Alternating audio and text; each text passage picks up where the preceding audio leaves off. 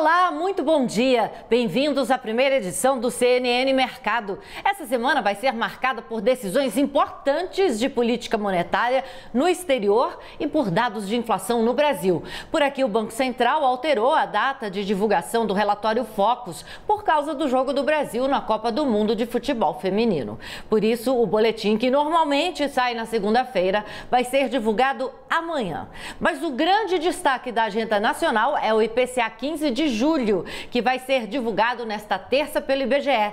Na quinta-feira, a expectativa é pelo Cadastro Geral de Empregados e Desempregados, o CAGED, referente ao mês passado. Na sexta, o IBGE divulga a taxa de desemprego medida pela PNAD contínua.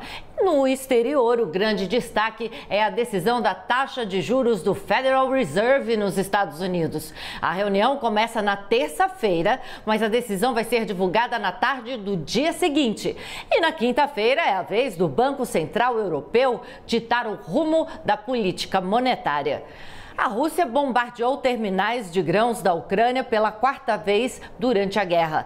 Toneladas de ervilha e cevada foram destruídas. Os ataques aconteceram depois de Kiev prometer desafiar o bloqueio da Rússia em pontos de exportação.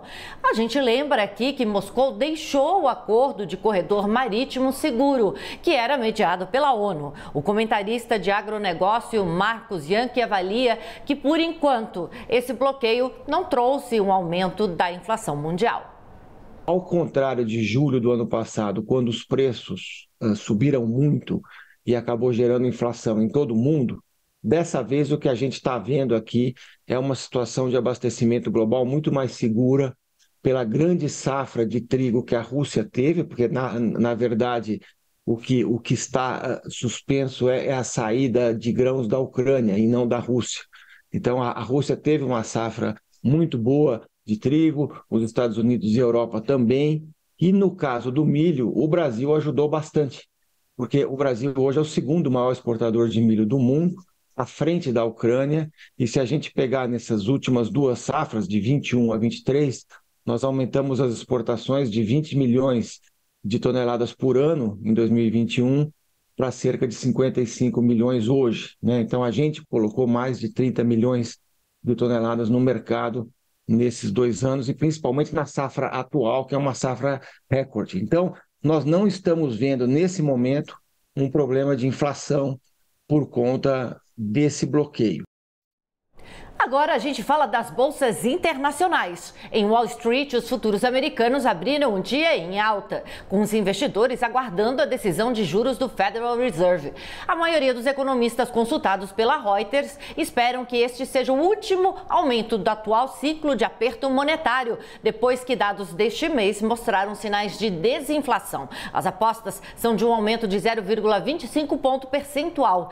E o mercado também fica de olho nos balanços trimestrais Meta, Microsoft e Alphabet estão entre os grandes nomes que vão publicar resultados nos próximos dias. Os investidores estão cautelosos depois que a Netflix e a Tesla divulgaram relatórios menos empolgantes na semana passada. Na Ásia, o índice Xangai fechou em baixa, mesmo após novo anúncio de uma série de medidas para incentivar o investimento privado. Esses estímulos buscam promover o setor privado na infraestrutura, fornecendo apoio a projetos financeiros privados.